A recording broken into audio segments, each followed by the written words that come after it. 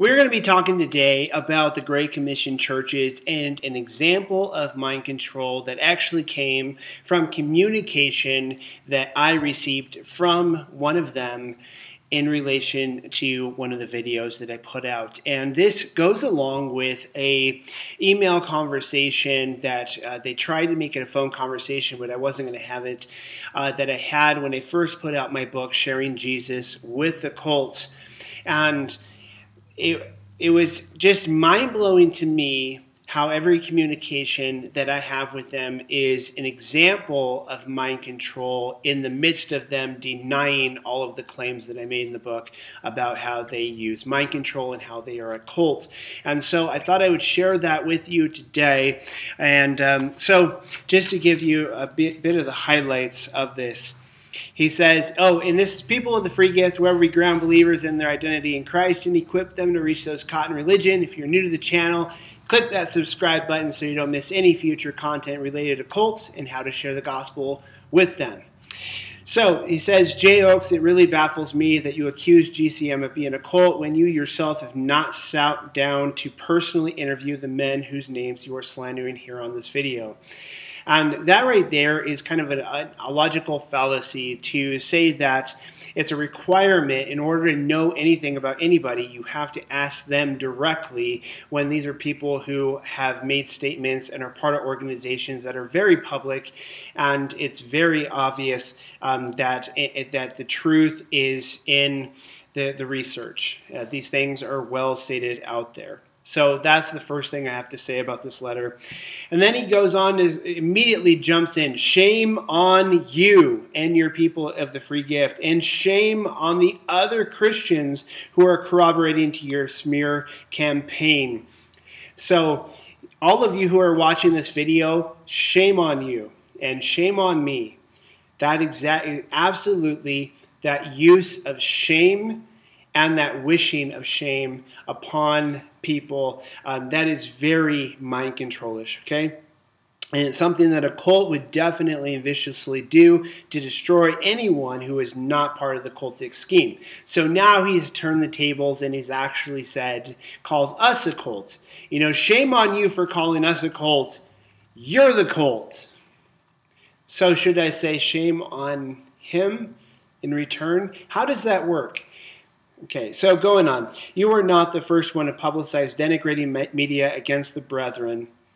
Okay, so ask yourself, and I've, I've, I've asked this question of them why is it that you have to devote good portions of your website to explaining why you're not a cult?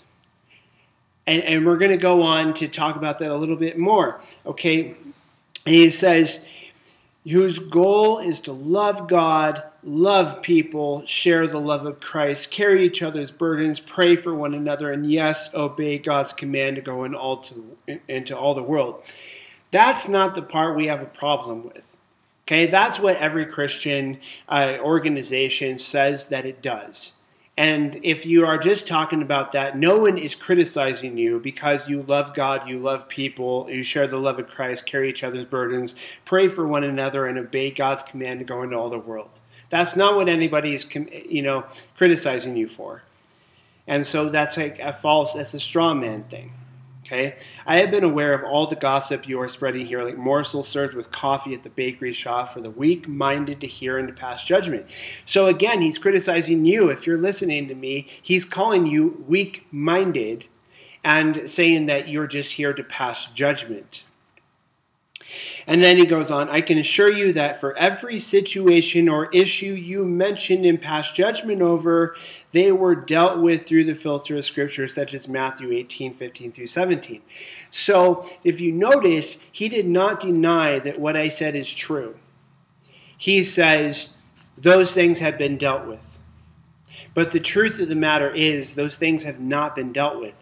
The people who are coming out of this cult now are complaining of the same things that they were back then before the so called Strengths and Weaknesses paper was released. And if you don't know what I'm talking about, look back in my previous videos on the GCM, okay? Be sure of this, the scriptural warning found in James 4:17 cuts both ways. Here's what James 4:17 says, "Therefore to him that knows to do good and does it not, to him it is sin." And so what she's basically saying to me, or what he's basically saying to me is, you know what the good thing is to do, and you're not doing it, so you are a sinner. Okay? If you think you are holier than thou, remember that God is sovereign judge and ruler. I have personally known, prayed with, labored with, shared with, ministered with, sacrificed with since 1977, before the name Great Commission Ministries Churches was designated by common mutual agreement, and give true testimony to the fact that Great Commission is not a cult just as much as you would claim that your people the free gift venue isn't one either. And I challenge anybody to find anything about anything that I'm doing that would meet the criteria of a cult that I've laid out very clearly. Okay, you're comparing apples and oranges. And give true testimony to the fact that Great Commission is not a cult. I challenge you to stop your malicious campaign and go talk to the right people. This is another thing, like, they want me to make sure that I talk to them talk to the right people. That sounds kind of like intellectual control, mind control. Talk to the right people. You're not looking at the right sources. You're looking at that internet. You're looking at people who came out of the movement and say that these things happen. You're not talking to the right people. Well, every time I talk to the so called right people, you show me evidence of the very things that everybody else is complaining about not those who saw from a distance. Okay, and again, he's he's not listening to what I'm saying. Okay, I, these are this is talking with people and sharing with people and looking at the testimonies of people who were a part of the movement.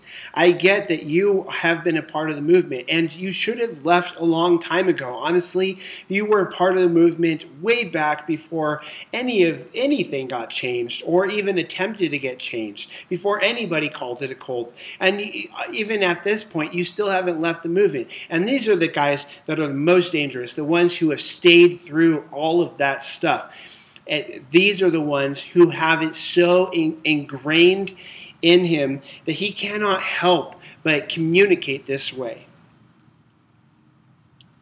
Okay? For each accusation here, there is a legitimate explanation that involved much humbling prayer and consideration for those who are innocent of any wrongdoing. I love what he does here. He says he doesn't deny that the accusations that are being made by me and by others that are out there that those things really actually happened. But then he turns right around and says you know like we were humbled and we were considered but they didn't actually do anything wrong. The organization and i asked this of another guy in the organization who contacted me is the organization ever wrong and yet still the devil is out spewing lies and deception. 1 Peter 5 8. My advice to you is don't be the idiot caught in the devil's lie. Wow, now he's calling me an idiot. I keep in touch daily with those dear legitimate brothers and sisters in the Lord over social media. Trust me, there is no mind control here. Yes, there is. And I've just detailed how you're using it even in this very communication where you're trying to tell me that there's no mind control. True Christianity in this country is at an all time low at 19%. You should be spending your time praying for our churches and for the Lord to send laborers to the field that is ripe for harvest before the Lord comes. Okay, so you should be praying and spending your time praying for us because we're the ones that are actually doing this. We're the only true believers. We're the only ones. And, you know, since time is short and Christianity is at an all time low, then can't we just be friends and can't you just focus on doing the right thing?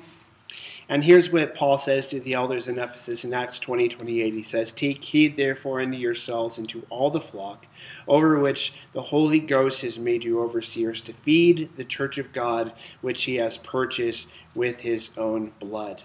And he goes on to say, talk about those who are going to be ravenous wolves who are going to come in amongst the flock and they're going to try and take them out. And our job is to protect the flock.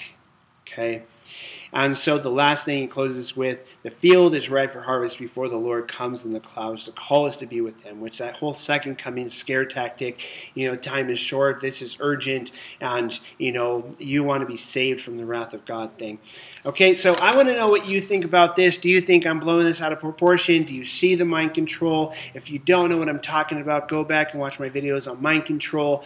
And I would love to hear what you have to say. If you have a question, you have an insight I didn't cover, put it in the comments down below, and I'll be taking some of those for next week's Q&A videos. And until next time, uh, if you haven't already, subscribe to the channel, give us a thumbs up if you like the content for today. Share this video with others who um, are interested in cults and how to reach them with the gospel of Jesus Christ. And stay tuned for tomorrow's video, which is going to be on the commonalities, uh, the connection between Bethel School of Supernatural Ministry, the LDS Church, the Masons, and the Jesuits, Illuminati, and the Knights of Malta. So stay tuned for that. And until next time, may God's grace be with you.